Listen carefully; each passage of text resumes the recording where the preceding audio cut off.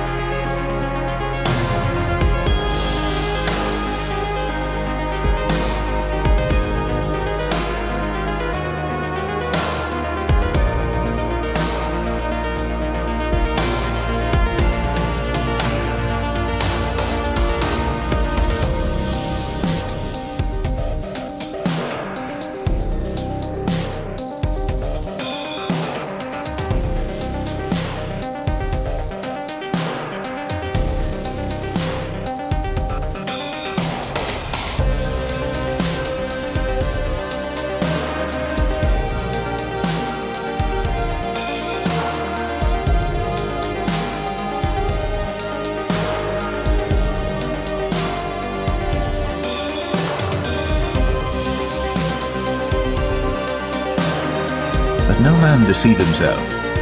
If any man among you seemeth to be wise in this world, let him become a fool, that he may be wise. For the wisdom of this world is foolishness with God. For it is written, He taketh the wise in their own craftiness.